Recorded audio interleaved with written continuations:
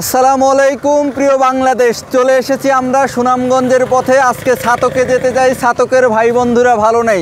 কথা বললাম প্রিয় সংগঠন বিদ্যানন্দের ভাইদের সাথে। ওনারাও বললেন, ছাতকে এখনও পৌঁছাতে পারেননি। অনেকে আপনারা ছাতকে যান। আমরা অনেক স্বেচ্ছাসেবী প্রতিষ্ঠান এক হয়ে কাজ করছি। বিডি ক্লিনের ভাইয়েরা আছেন, রেড ক্রিসেন্টের ভাইয়েরা আছেন, বিদ্যানন্দের ভাইয়েরা আছেন।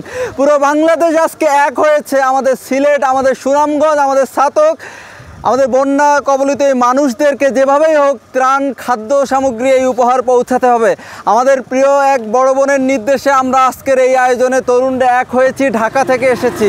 আমরা রাস্তা ভাঙা থাকার কারণে আমরা আবার ব্যাক হয়ে এসে আমাদের প্রায় দশ থেকে বারো কিলোমিটার ট্রলার নিয়ে যেতে হবে। দেখতে পাচ্ছেন আমরা ট্রলার ইতিমধ্যে এখানে নিয়ে নিয়েছি এবং রাস্তা ভেঙে গেছে, সুনামগঞ্জ যাওয়ার কোনো উপায় নাই। আমি যদি দেখাই আমাদের আনলোড হচ্ছে গাড়ি, সত্যি এত ভালো লাগছে, পুরো রাস্তা জুড়ে শুধু ত্রাণ। আলহামদুলিল্লাহ, বাংলাদেশের মানুষ এত ভালো, সত্যি পৃথিবীতে আর কোনো দ্বিতীয় জাতি আছে কিনা এত কুইক রেসপন্স করতে পারে, বাঙালিরা করতে পারে।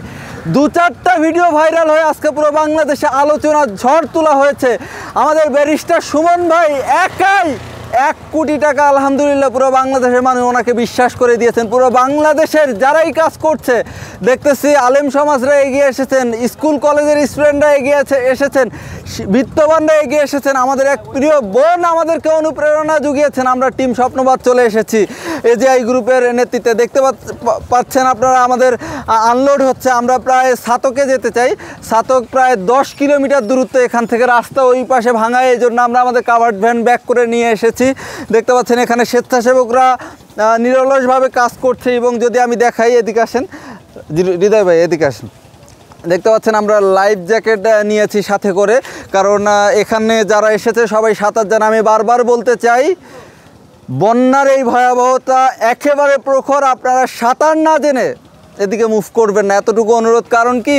আবেগ দিয়ে তো আর দুনিয়া চলে না। আপনি অনেকে, আমি এমনও দেখতেছি, অনেকে ঘোরার জন্য আসছেন, এসে আটকা পড়ছেন। যাই হোক, আগে হয়তো আসছেন, এখন ভুলে এইরকম কইরেন না, ঘোরার জন্য আইসেন না।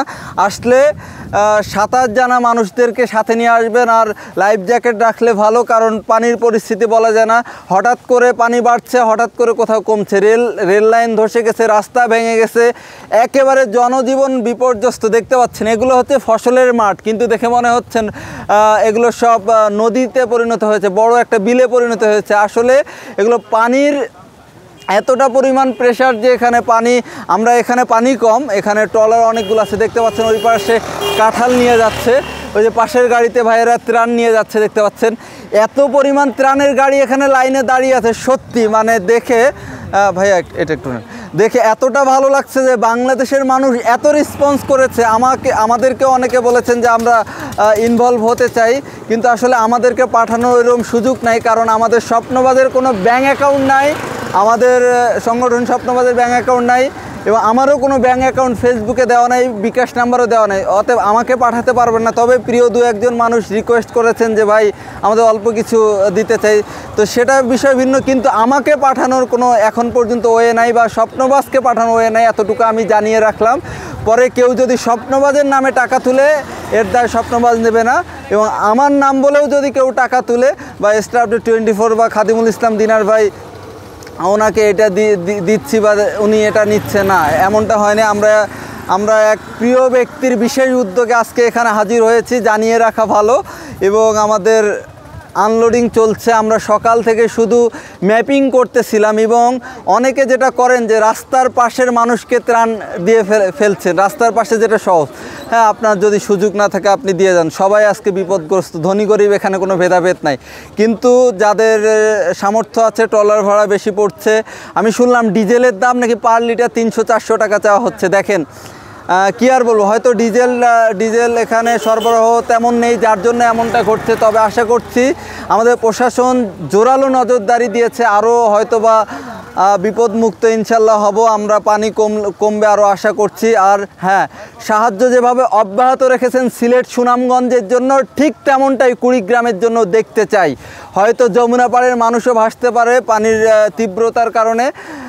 তাই বাংলাদেশের সর্বস্তরে মানুষকে প্রস্তুত থাকা উচিত। যেখানেই বিপদ হবে, বাংলাদেশ এক হয়ে যাবে ইনশাল্লাহ আজ এখানেই শেষ করছি। সিলেটের সুনামগঞ্জের ছাতক থেকে ভালো থাকবেন, ভালো রাখবেন। আসসালামু আলাইকুম।